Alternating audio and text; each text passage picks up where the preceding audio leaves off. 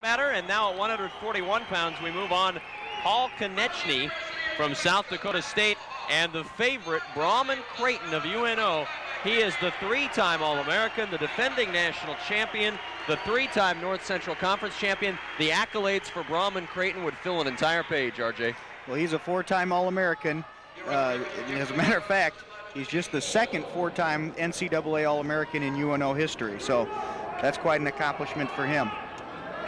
I don't think I'd be letting the the, uh, the cat out of the bag. I, have heard a lot of rumors going around this weekend that Jody Strittmatter, who we just saw win the 125-pound title, is possibly transferring to a, a Division One school. Would not surprise me the way we saw him wrestle. He was a dominant performer here. I saw I saw several Division One coaches uh, working around the uh, the arena this weekend, and uh, it's kind of sad. They're almost re recruiting this tournament like it was the junior college national tournament, which is something you never saw before, like we've seen in the last couple of years of Division two ranks. Braumon Creighton, Class A state champion with Millard North back in 1994 in Nebraska. High school record of 89 and 19. And he has improved upon that, if you can believe that, at UNO. He's won 147 here at UNO. No, oh, he's up to 150 now. Well, that's right. He has he's, he has won, won three, here weekend. in this. That's right. He got his 150th earlier on today. Braumon Creighton against Paul Konechne. They have met many times as they're both in the North Central Conference, and Creighton 6 and 0 lifetime versus Konechne.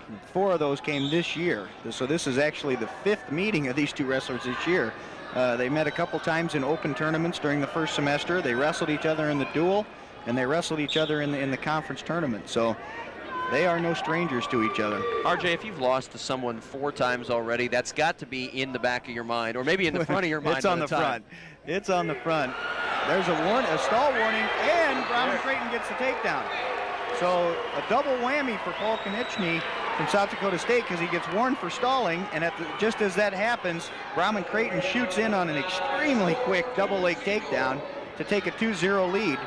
We've seen this the last couple of days, and you saw an example of it there, of how quick Braumon Creighton is. His takedowns in this tournament have sent oohs and ahs throughout the crowd. He is one of the quickest and one of the most demonstrative at that. Without a doubt, his strength is on his feet. Uh, in his quarterfinal match, uh, he beat Marcus Mays of Central Washington 16 to 6 in what I would call a takedown clinic. He has indeed put on a clinic, and he's put on a clinic for so many years at UNO now four-time All-American now with his appearance here in the finals and just a terrific career wrapping up for Braumon Creighton, but he wants to wrap it up with a national championship. It's 2-1. Creighton with the lead and out of bounds they go. They'll go back to the middle of the mat. One minute to go in period number one. And UNO absolutely has to have this win for the team race. If they don't get a win from Creighton, they're pretty much done in the team hunt. Yeah, without a doubt, this is one they expected to win and they have to win to have any hopes at all. And what they really would like is some bonus points uh, if Creighton would, were to get a major decision or, or, even better, a technical fall or a fall. Uh, Braumon Creighton really not known that much as a pinner. Uh, again, like I said, he's very strong on, on his feet. he's, he's strong at all aspects of, of, of the wrestling, the bottom and the top position, but his strength is on his feet. He wrestles most of the match on his feet. In the semifinals, he in fact had to get a takedown in the last 20 seconds to win the match. Uh, over Travis Shives of, of Mankato to beat him 7 to 4. Creighton beat an unseeded Marcus Mays, and then he beat Travis Shives, as mentioned, and also an unseeded Lamont Tucker to get here to the championship. Konechne had a bye in the first round, beat unseeded Tony Pellner, and then beat the three seed Tony Clark of Pittsburgh Johnstown. It's 2-1. Braumon Creighton with a leader at 141. 17 seconds to go here in the first period. Creighton against Konechne. Again, in college, the, the first period is three minutes, followed by two in the second and two in the third. If they would have to go into overtime, it's a two-minute sudden death period on their feet. We haven't had to, we haven't seen one of those yet in the finals, but uh, it wouldn't surprise me if we've seen a couple down the road. We have seen several over the course of wrestling this past couple of days in the as this tournament has unfolded. There's a, there's a look at uh, assistant coach Ron Higdon from the University of Nebraska at Omaha. He was an All-American here back in 1989 or 90, I He believe. Hedge on the side of younger. That's always a good bet. And there's All a right, we'll, we'll, give him, early. we'll give him 90. Braumon Creighton cautioned for a false start. As we mentioned, he gets two of those, and then a point is assessed on the third. Creighton's so quick, it almost looks like he false starts even when he doesn't. And he's nearly gotten it out. Mm. He turned it around. He got the escape. Did a really nice job right on the edge of staying in bounds. Konechne was trying to shove him out of bounds without giving up the escape. Braumon able to stop and turn around and face him to get the escape, take the lead, three to one now here in the second period. That, that escape only took him actually nine seconds to get out, so very quick escape. And now we've got a stop in action. The official stops it for a moment and sends him back to neutral. The official in this match is Jim Warren from Newport Beach, California. Decided to come here and see some snow. He's being, he's being assisted by Keith Poolman from Charles City, Iowa. I guarantee you he doesn't see much snow in Newport Beach. According to the weather, he's not going to see much snow if he sticks around here for the next few days either. About a minute and a half to go in the second period, and it's 3-1 Braumon Creighton of UNO with the lead over Paul Konechne of South Dakota State. Another double, great double leg by Braumon Creighton. Just absolutely overpowering Konechne. And that's what we've seen from Braumon Creighton, not only this weekend, but his entire career at UNO. He is so quick with the takedown. He really catch you off guard, even if you've wrestled him like Konechne has six times already. He makes it look so easy that it's almost like he can get it whenever he wants to. I'm sure Mike Denny is uh, encouraging him to get it very often here in this one, at least to get a major decision. It's 5-1 right now, 103 to go in the second period. There's Ron Higdon, assistant coach for UNO. And you see, Konechne will start in the down position. 103 to go, second period. Huge crowd on hand here tonight at the Sapp Fieldhouse, and they're enjoying the national championships. And there's the escape for Konechne as Creighton's just trying to get him set up again. Konechne again an All-American last year, placed sixth, so this is quite an improvement for him. And he's just a sophomore, so he's got one thing to look forward to, that Braumon Creighton is graduating this year, and he'll still have two more years to, to work for national titles. Not saying that he's out of this match yet, but I'm sure he's going to be the first to send Braumon Creighton a good luck card in the rest of your career, too. graduation, graduation yes, card. That's right. Goodbye in the NCC. He's had his troubles with Creighton 0 6 lifetime. Konechne and Creighton. It's kind of Creighton in his match in the semifinals against. There's a stall warning against Braumon Creighton against now. Braumon Creighton. So each one has received a stall warning in this match. I, I was talking to the University of Minnesota State Mankato coach after the semifinals. Braumon Creighton beat their Travis Shive 7 to 4, and he said they had wrestled Braumon Creighton 10 times, was 0-10 against. Braumon Creighton and Oh, Paul excuse. Konechne. Now watch this, the takedown. Keep an eye on this. Look how quick and what power he uses to drive Konechne down into the mat.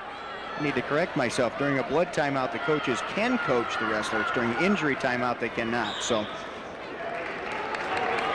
152 here in the third period. It's 5-2.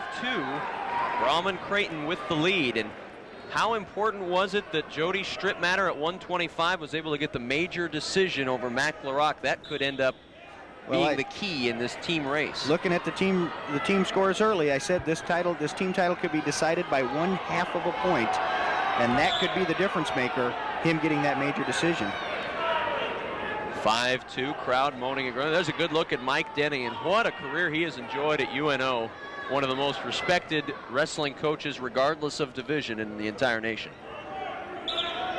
And Now, what the, it looked like, there's a quick escape by Konechne, but it looks like what the, the UNO coaches want Creighton to do is, is try to get two or three more takedowns in order to extend his lead and work for that major.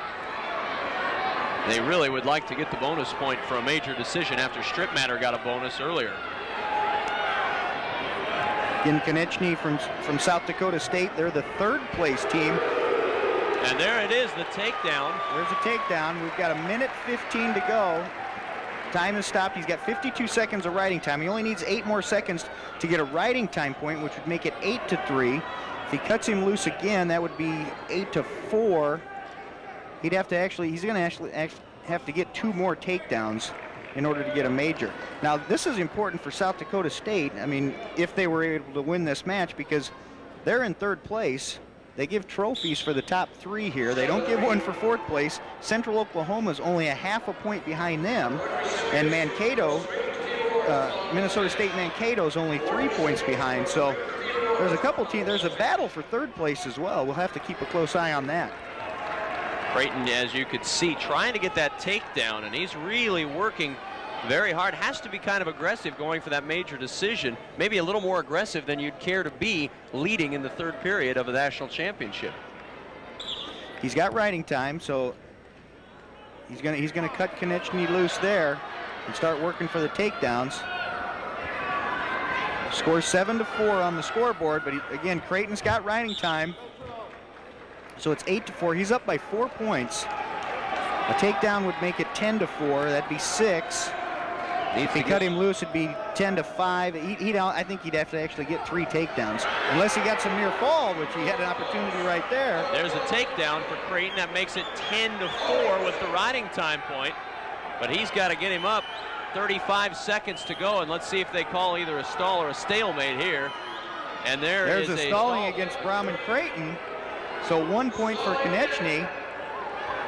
And that's pretty much going to put the major decision probably out of reach unless Braumon Creighton were able to, to put Konechne onto his back. And he got the escape point as well. Yeah, so now so now it's 10-6 with the riding time. and 10-6 with riding time. He's got to almost get the near fall in order to, or the pin at this point, to get bonus points in this one. 9-6 the score. Braumon Creighton going for another national championship for UNO. He's got 10 seconds to go in period number three. He's got, he's got a near side cradle locked on. If he could get some back points out of this. He gets the takedown, but he's not going to get any back points, and that is the end of the match at 141. Braumon Creighton, the national champion again, with a 12 to 6 win, gets the decision. And everyone's going to be very happy with that, but I'm sure Mike Denny would have loved to have seen a major decision as he would have just needed one more takedown. There's a look at the, that, that was Brian Zanders, a former national champ from UNO, who was actually Braumon Creighton's cousin.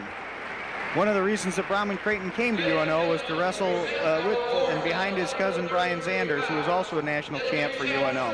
And a happy Mike Denny and Braumon Creighton embrace as national champion and coach one more time as Braumon Creighton closes out his career as a national champion again. And what a way to go out for Braumon Creighton of UNO. As the national champion, he came in defending his championship crown, and he has defended it very well, thank you.